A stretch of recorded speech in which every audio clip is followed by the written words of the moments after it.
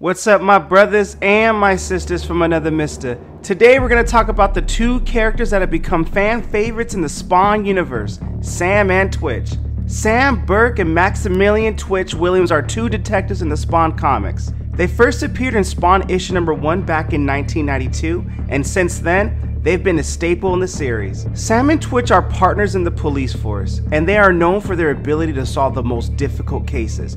Sam Burke is the toughest nails detective who doesn't take no shit from no one. Ain't no bitching around Sam.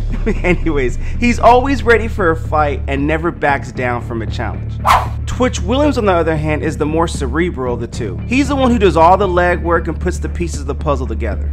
Together, Sam and Twitch are the perfect team. They're like the yin and the yang, and they always get their man. But they soon realize that the case of Al Simmons is not just another ordinary murder, it's something much bigger, much darker, and much more dangerous. As the story progresses, Sam and Twitch become embroiled in the world of Spawn, and they find themselves in the middle of a war between heaven and hell. They come to know about Al Simmons, who is Spawn's alter ego, and how he was betrayed and murdered by his own government and was brought back to life by Malebolgia, the lord of the eighth sphere of hell. As they learn more about Al and his powers, Sam and Twitch have to make a decision. Will they join forces with Spawn and fight for justice, or will they remain loyal to their duty and the law? The relationship with Spawn is a complex one, and it's one of the things that makes the comic so interesting to read. So that's Sam and Twitch, the detectives who took on the Spawn world, two of the most beloved characters in the Spawn universe. I might just do a comic book review of the entire Sam and Twitch series. Let me know your thoughts on that. If you haven't read the comics yet,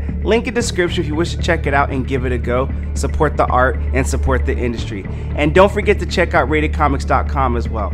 Action, drama, mystery, intrigue is what you'll get. And if you like the content with Throw It Up, you know what to do. Like the video subscribe to this channel. Thank you again for watching.